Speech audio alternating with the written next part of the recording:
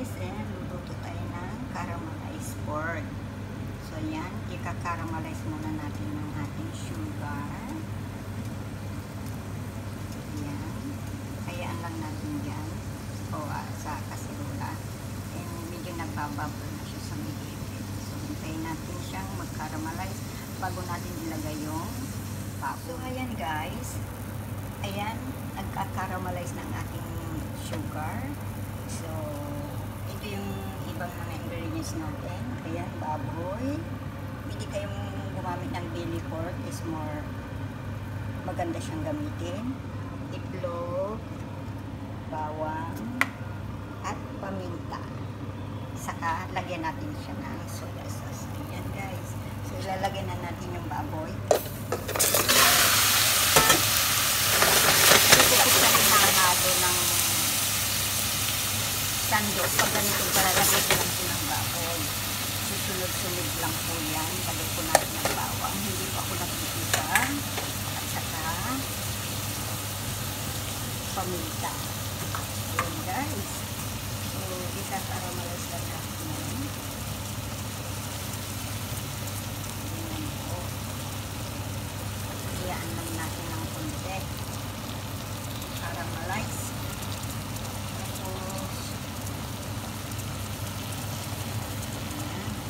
Ayan guys, at this point, pag ganito na, pwede nyo siyang haluin ng ginagamit ko po chopstick. Kasi minsan o kaya eh, ganyan-ganyan nyo lang po. Huwag nyo siyang haluin kasi yung asukal minsan umaano sa ating ayan guys. So hayaan lang natin siyang makaramalize takpan natin asan na ba yung ating takip takpan lang po natin. Hayaan natin makaramalize ng mga 5 minutes. Ayan. So ayan guys. After 5 minutes saka natin ilalagay ang ating soya sauce. So ito ang ginagamit kong soya sauce kasi ito yung gusto ng mga bata. Light soya sauce lang po ang ginamit ko. So hindi ako nagmi-measure. Kayo na ang bahalang mag hindi po ito masyadong maalat kaya kailagyan natin ng marami. Okay lang po. Sabay halo na rin po ng ating itlog. Ayan.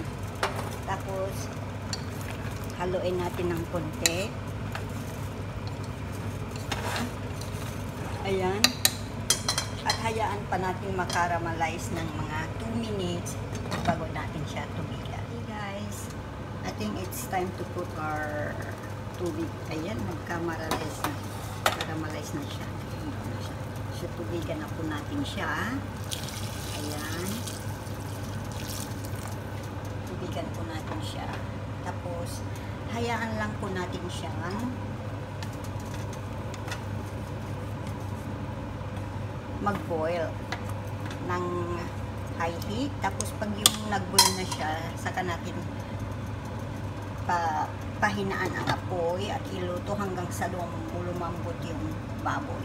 Silogin nito. Ayan guys, ito na yung ating caramelized pork. Luto na siya at malambot na ang ating inyo.